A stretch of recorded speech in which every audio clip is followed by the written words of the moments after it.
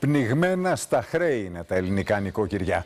Έχουν φτάσει στο σημείο να παίρνουν δάνεια ακόμη και για να εξυπηρετήσουν τα έξοδα του μήνα.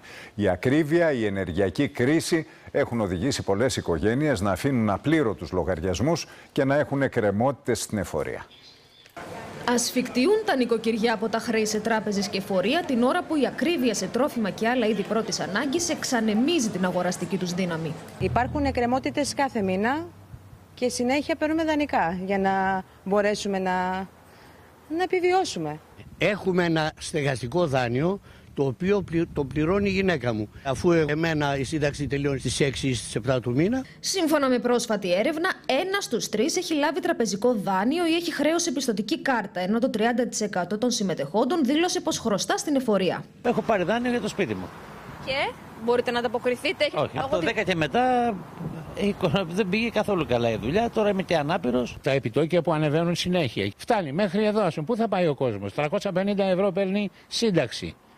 Προλαβαίνει να τα δώσει. Το 17% μάλιστα απάντησε πως έχει αφήσει εκκρεμότητες σε λογαριασμούς ρεύματος, ίδρυυση και αερίου.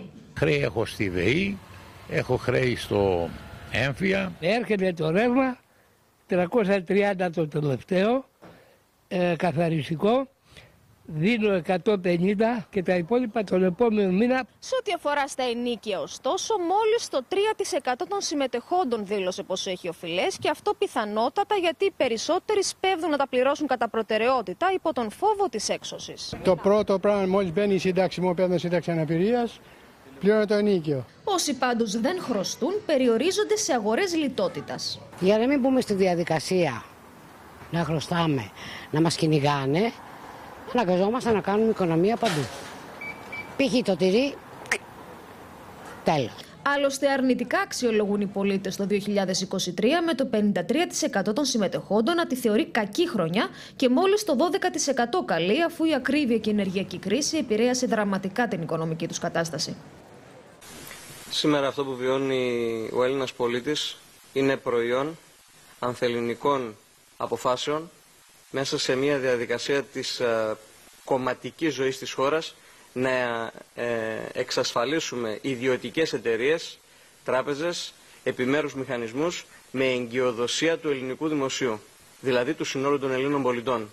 Έχουμε εγκυοδοτήσει τους πάντες, πλην όμως δεν έχουμε εγκυοδοτήσει την ίδια την ασφάλεια και ευημερία του ίδιου του Έλληνα πολίτη.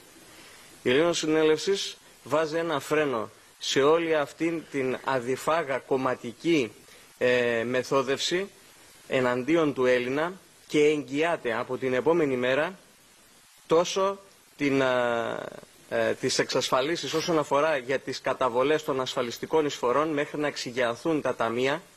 Θα πρέπει να δούμε τι ακριβώς έχει γίνει με τις αποταμιεύσεις των Ελλήνων ε, τόσο για το συνταξιοδοτικό όσο και για την ιατροφαρμακευτική περίθαλψη. Εξασφαλίζουμε όλες και εγγυόμαστε όλες τις οφειλές που υπάρχουν προς την ανεξάρτητη αρχή δημοσίων εσόδων, γιατί θα πρέπει να γίνει ένα ταμείο με αυτόν τον οργανισμό, όπου δεν λογοδοτεί από το 2017 πρώτης πρώτου σε κανέναν θεσμό. Είναι μια αρχή η οποία δεν εποπτεύεται από τον Έλληνα πολίτη και τους θεσμούς του. Θα πρέπει να δούμε πού ακριβώς πηγαίνουν όλα τα έσοδα. Οπότε εγγυόμαστε για οποιαδήποτε οφειλή υπάρχει προς την ανεξάρτητη αρχή δημοσίων εσόδων ως σύνολο.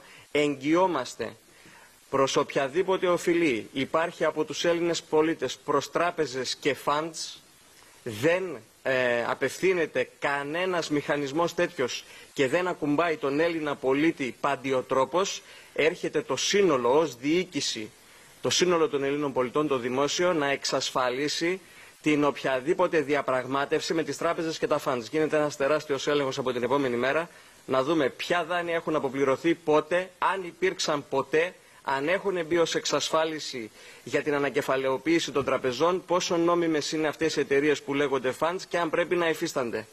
Να, θυμάνται, να θυμούνται όλοι οι Έλληνες πολίτες, να βάλουν πολύ γερά στην νόησή τους ότι η μέρημνα και ο μοναδικός γνώμονας της Ελλήνων Συνέλευσης ως διακυβέρνηση της χώρας είναι ο ίδιος ο πολίτης. Η ασφάλειά του σε οποιοδήποτε επίπεδο και πεδίο της ζωής και βίου του και ιδιαίτερα όσον αφορά την οικονομία που η οικονομία είναι η νομή του ίδιου του οίκου.